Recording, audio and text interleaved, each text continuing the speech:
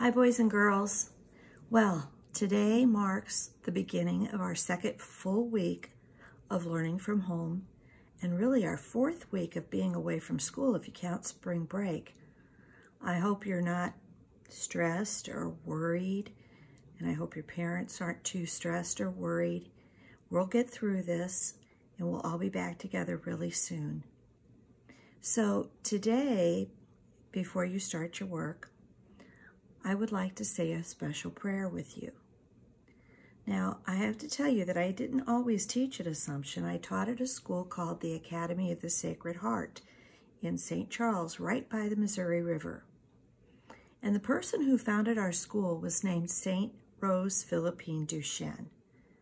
She founded that school in 1818, way back in the pioneer days. And it was one of the first schools ever started west of the Mississippi River. The thing I admire about St. Philippine is that she had a spirit of determination and that stick-to-itiveness that many of us don't have today. So today, we're going to pray a prayer that we used to pray there. It's called the Prayer of Confidence. We're ask St. Philippine to intercede for us and to help give us that spirit of determination that we're going to need in this time to defeat this virus and do what we need to do for everybody to save health, stay healthy and safe. So let's pray together. In the name of the Father, the Son, of the Holy Spirit. Amen. Lord Jesus, through the intercession of St. Philippine Duchesne, to your sacred heart I confide my special intention. Only look then do what your heart inspires. Let your heart decide. I count on it.